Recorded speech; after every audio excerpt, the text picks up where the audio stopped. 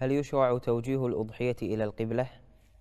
نعم يشرع لأن عمل صالح فيوجه القبلة. وجاء عن ابن عمر رضي الله عنهما أنه قال كان يوجهها إلى القبلة بل ذكر عنه أنه كان إذا لم توجه القبلة لم يأكل منها.